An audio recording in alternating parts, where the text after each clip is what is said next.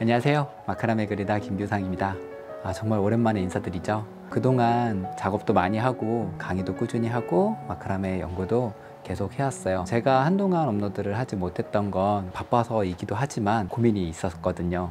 단순히 만드는 방법만 알려드리는 게 아니라 어떻게 하면 마크라메에 대해서 더 잘 알려드릴 수 있을까라는 고민이 있었는데 고민을 많이 한 결과 앞으로 몇 가지를 꾸준히 업로드를 해드릴 거예요. 그 중에 한 가지가 지금 올려드리는 강의예요. 기본을 잘 배워야 정말 제대로 된 마크라메를 할수 있고 또 마크라메를 하는 게 재밌거든요.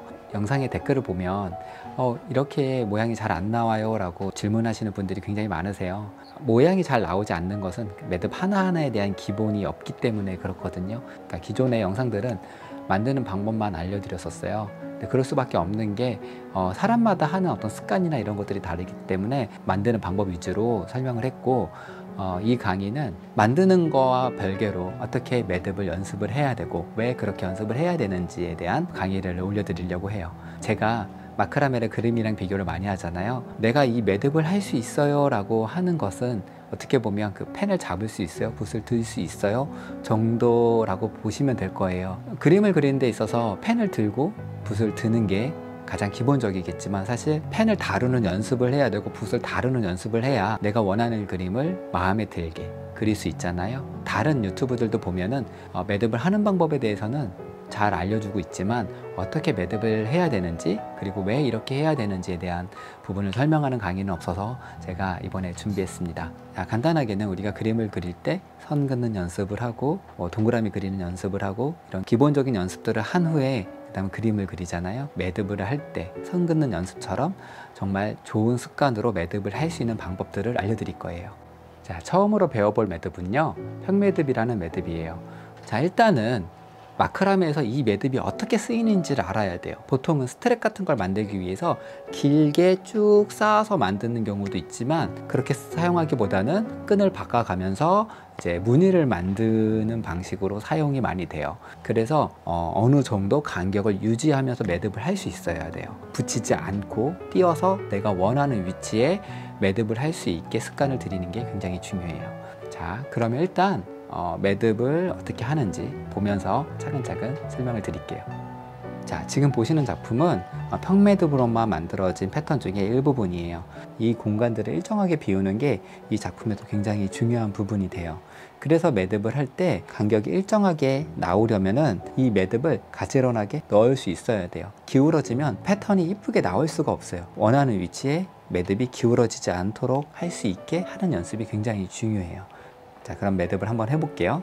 자 이렇게 끈을 준비를 했고요.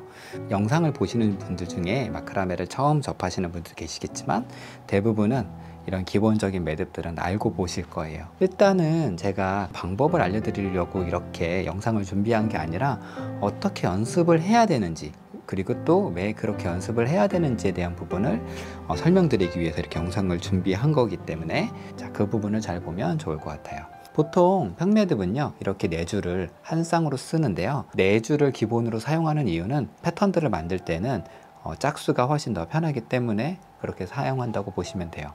보통 평매듭을 하는 방법을 이렇게 알고 계실 거예요. 자 중심근 위로 왼쪽 끈을 올려서 그 다음에 오른쪽 끈을 왼쪽 끈 위로 또 올리고 이 사이로 들어가서 이렇게 빼서 반번을 하고 그 다음에 오른쪽을 중심끈에 올려서 또 왼쪽 끈을 오른쪽 끈 위에 올린 다음에 아래로 내려서 위로 이렇게 빼주는 거죠. 이렇게 알고 계시는 분들이 아마 대부분이실 거예요. 자, 정확하게는 좀 더 나눠야 돼요. 어떻게 나누냐면요. 자, 평매듭을 하는 방법은요. 크게 두 가지가 있어요. 중심끈을 기준으로 해서 왼쪽, 오른쪽 쌍으로 하는 것과 위, 아래를 쌍으로 하는 게 있어요. 왜 그렇게 쌍으로 쓰는 방법이 나오고 이제 어떤 특징이 있는지 한번 설명을 드릴게요. 일단은 평매듭을 할 때는요. 자 우리가 왼쪽 위에 올려서 이렇게 하지만 이게 생략된 방법이에요. 정확하게는 중심끈을 기준으로 해서 왼쪽이 위면 오른쪽이 아래가 되게 한 쌍으로 쓰는 게 평매듭이에요. 자 왼쪽이 위면 오른쪽이 아래예요. 이런 식으로. 자 그리고 나서 반대편으로 넘어가는 거죠. 자 왼쪽 위로 된 거는 오른쪽 아래로 내려가고 오른쪽 아래가 된 거는 왼쪽 위로 이렇게 엇갈리게 되는 거죠 사이가 이런 식으로 엇갈려서 이렇게 반쌍이 되는 거고 또 다시 아까 왼쪽이 위였죠. 이번에는 오른쪽이 위잖아요. 왼쪽은 아래인 거죠. 자, 이렇게 대각선으로 반대끈이 들어가는 거예요. 왼쪽이 위면 오른쪽은 아래, 오른쪽이 위면 왼쪽이 아래. 이런 식으로 양쪽 끈이 이렇게 서로 엇갈리는 특징이 있어요. 오른쪽이 위였으면 그 다음엔 왼쪽 아래로 넘어가는 거고요. 대각선 반대죠.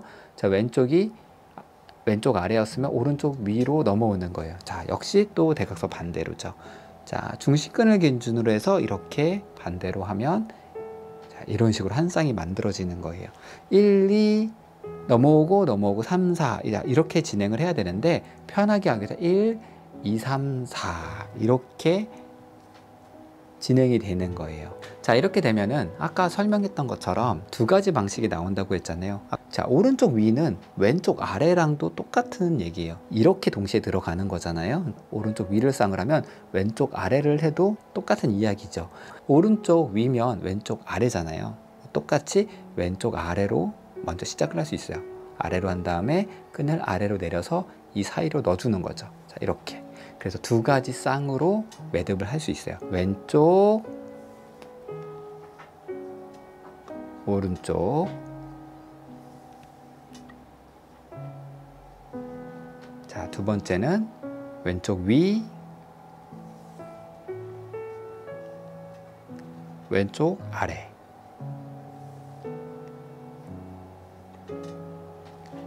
두 개 다 결과물은 똑같죠? 둘 다 써야 되는 건 아니지만 잘 사용할 수 있으면 굉장히 좋아요.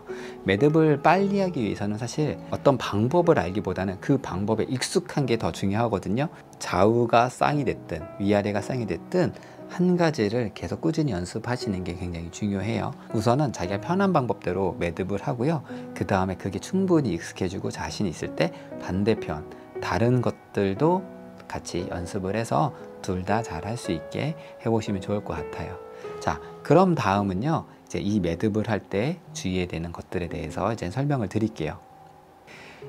마크라메 패턴을 만들 때는요 이렇게 쓰는 경우가 거의 없어요 아주 사용해도 조금씩 일부분을 사용을 하죠 계속 이런 식으로 진행되는 경우가 거의 없습니다 그래서 이거를 내가 원하는 대로 일정하게 띄울 수 있는 연습을 하는 게 굉장히 중요해요 자 저는 수업을 할 때이 어, 방법을 네 단계로 나눠서 설명을 해드려요 자 어떻게 하냐면 첫 번째는 일단 매듭을 할 줄 알아야 돼요 그러니까 아까 제가 알려드린 어떤 두 가지 방법 중에서 편한 방법을 먼저 익히시는 거죠. 둘 중에 어떤 게 돼도 상관은 없어요. 좀 전에 이제 설명드렸던 매듭하는 방법들을 먼저 익숙하게 할 수 있어야 되고요.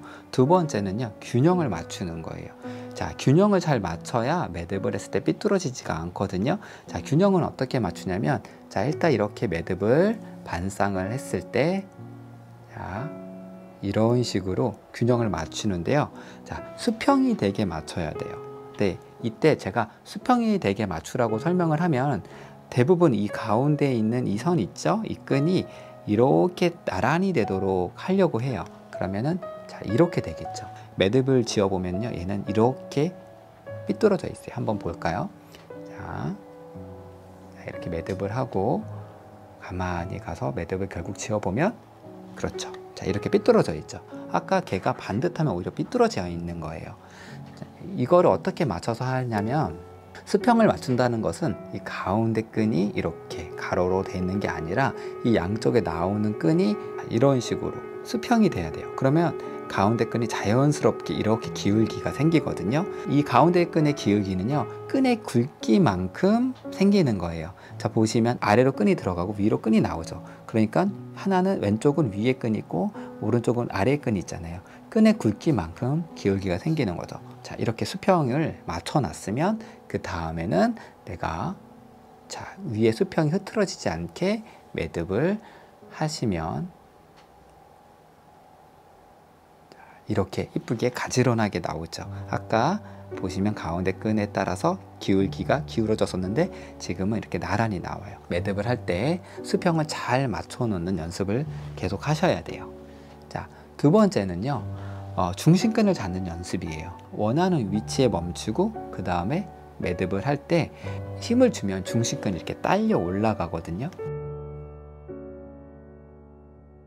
이걸 그냥 이렇게 하다 보면 이런 식으로 중심근이 딸려 올라가요. 올라가지 않도록 중심근을 딱 잡아주는 거예요.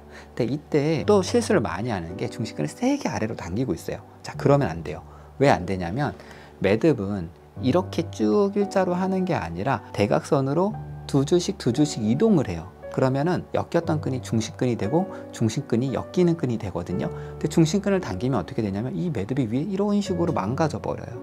그래서 중심끈을 당기는 습관을 들이면 매듭을 내가 아무리 잘 했어도 걔가 계속 망가지는 거예요. 그래서 가지런히 이쁘게 나오지가 않게 되는 거죠. 자, 그래서 중심끈을 잡을 때는요, 세게 당기면서 잡는 게 아니라 살포시 손만 대주는 느낌으로 잡아주시는 거예요. 이렇게 살짝만 다 재주시고 잡고 살포시 네. 힘을 빼고 살살 해주시는 거예요. 힘을 세게 팍팍 하실 필요 없어요. 제가 가르치다 보면은요, 좀 매듭을 하다 오시는 분들이 막 이렇게 하세요. 그러면은 얘네들이 다 헝클어지고 모양이 이쁘게 나올 수가 없어요. 세게 하면 손도 아프고 끈에 이제 무리가 가서 뭐 끊어지기도 하고 보풀도 생기고 힘을 빼주는 게 굉장히 중요해요. 운동도 그렇잖아요. 줄 때 주고 뺄 때 빼고 할 수 있어야 운동도 잘하게 되는 것처럼 매듭도 힘을 계속 주는 게 아니라 줘야 할 때와 빼야 될 때를 잘 구분해서 하는 게 굉장히 중요한 거죠. 자, 일단 첫 번째 매듭을 할 때는 균형을 맞춰서 이런 식으로 내가 중심을 잡아서 살살살 올려서 원하는 위치에 균형을 맞춰서 딱 멈춰두는 거예요.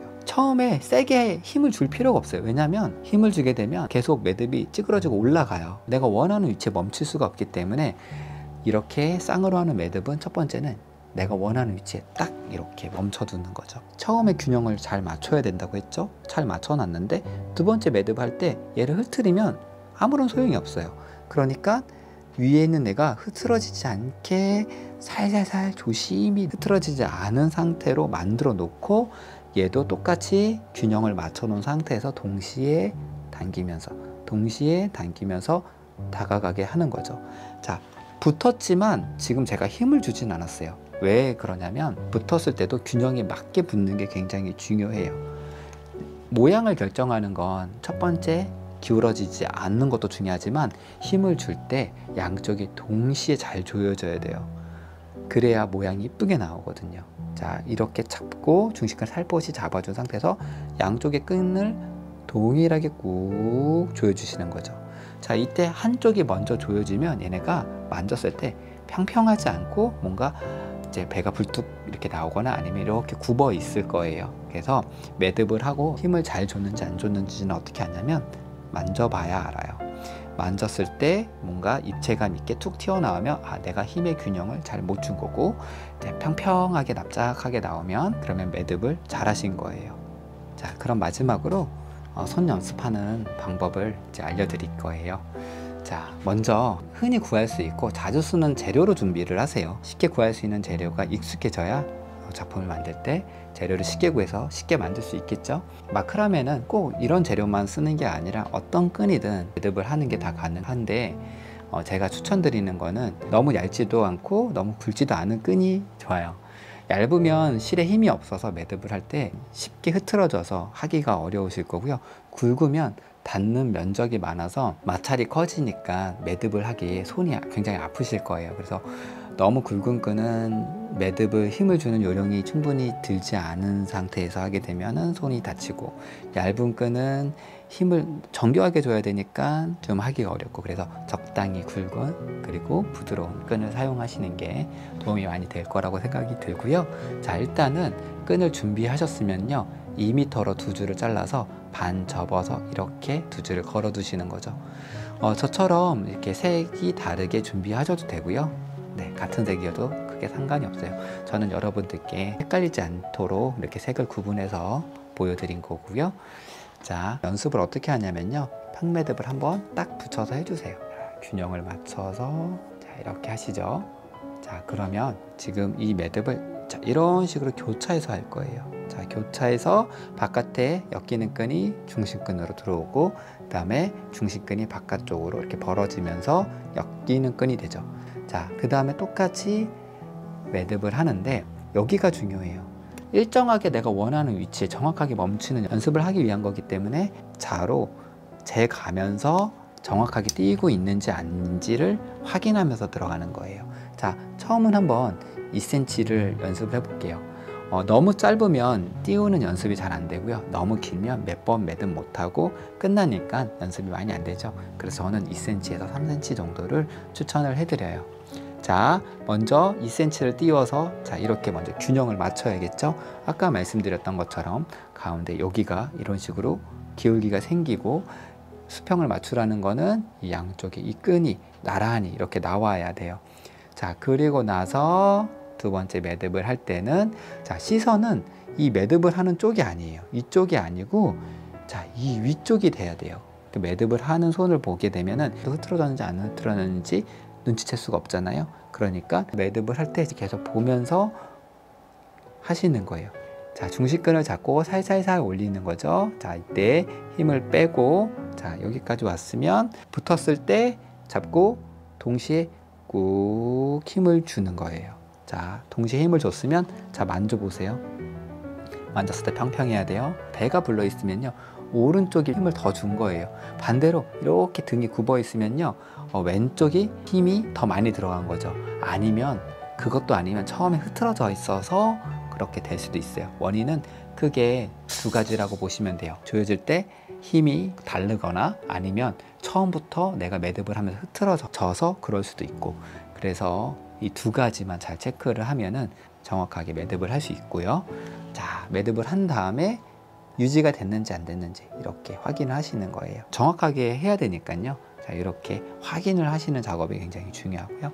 다음에 똑같이 또 바깥에 중심끈이 내려가고 이렇게 안쪽이 이렇게 올라가서 또 매듭을 지어 주시는 거죠. 자, 똑같이 천천히 2cm 띄우고 자, 시선은 어디라고 했죠? 자, 위쪽이에요. 매듭을 잘 짓는 거죠. 그래서 이 연습을 하기 전에 눈 감고도 매듭을 할 수 있을 정도로 충분히 손 연습을 하셔야 돼요. 그리고 나서 연습을 해야 도움이 되실 거예요. 자, 천천히 가서 딱 붙었으면 자, 여기에서 천천히 또 힘을 꾹 동시에 주고. 자 확인은 번째 만져서 평평한지 아닌지 확인을 하고 두 번째 자를 대서 내가 2cm 간격으로 띄었는지 안 띄었는지 또 확인을 해 주시고요. 한 가지 더 주의해야 될 게 보시면 이렇게 안에 네 줄이 교차가 되잖아요. 이 교차되는 끈의 길이도 사실은 다 같아야 돼요. 이 안에 이 교차되는 끈의 길이가 같으면 정말 잘하신 거고요. 만질 때는 힘도 일정하게 됐는지 안 됐는지 눈으로 봐서 확인만 하지 마시고요. 자 이렇게 만졌을 때 아, 힘이 얼만큼 들어갔는지 힘도 일정하게 줄 수 있는 연습을 해야 되거든요. 자 그런 식으로 연습을 하시면요. 평매드 패턴 만들 때 굉장히 쉬워지실 거예요.